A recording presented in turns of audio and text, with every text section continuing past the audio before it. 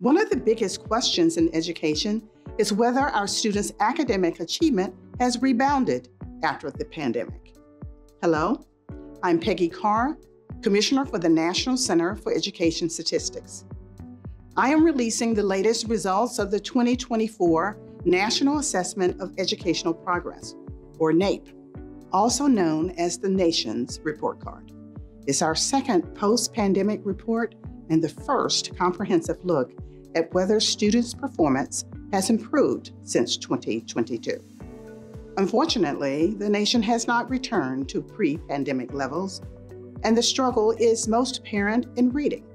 Yes, while there are a few states and districts that are improving, we don't see the progress we need to reverse the pandemic declines nationwide. In math, we're seeing some encouraging increases, though largely among the highest performing students.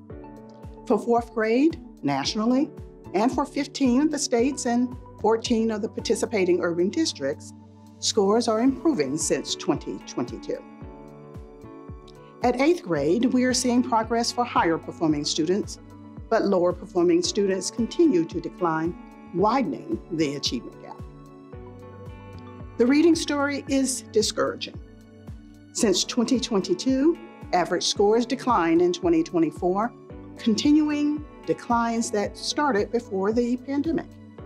In fact, average scores in reading are at the same level as 30 years ago. Looking more closely at the data, scores for lower performing students are dropping. These results clearly show that students are not where we need them to be or where we want them to be. But there are signs of progress. Student absenteeism, which worsened during the pandemic, improved in 2024. Two states scored higher than they did pre pandemic, and some other states and districts have regained lost ground.